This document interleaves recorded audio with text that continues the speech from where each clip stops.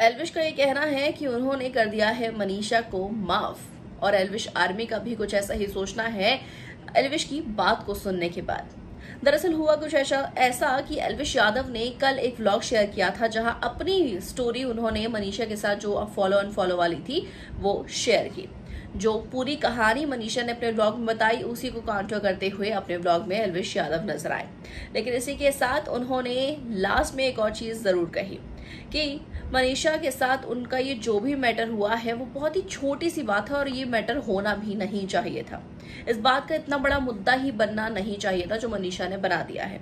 But कोई बात नहीं है अगर उनकी तरफ़ से ऐसा कुछ हुआ है तो शायद उनके लिए वो चीज़ ज़्यादा इंपॉर्टेंट होगी, लेकिन मेरी लाइफ के अंदर जो इतनी इस वक्त हफड़ा तफड़ी मची हुई थी, मेरे लिए वो ज़्यादा इंपॉर्टेंट थी।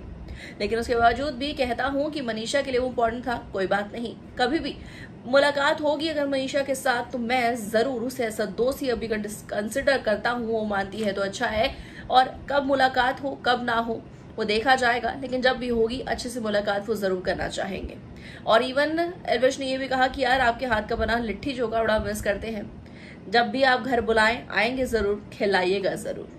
और एलविश के दोस्त अर्चित और लक्ष्य ने भी यही चीज़ की। और इवन वो यही चाहते हैं कि जो मैटर है, वो थोड़ा सॉल्व ही हो जाए। उनका भी खुद का एक फ्लॉग सामने आया है, जहाँ पर उनका ये कहना है कि इन दोनों के बीच इतनी प्रॉब्लम थी भी नहीं, एलविश और मनीषा के बीच, जितनी इस टॉपिक पर चर्चा करते हुए फैंस ने इस बात को बड़ा बना दिया।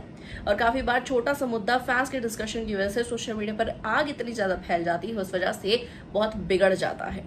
आपको भी कुछ ऐसा ही सोचना है तो हमें कमेंट सेक्शन में ज़रूर लेके बताएगा। वीडियो को लाइक शेयर चैनल को सब्सक्राइब के बनाओ बिल्कुल भी ना जाए।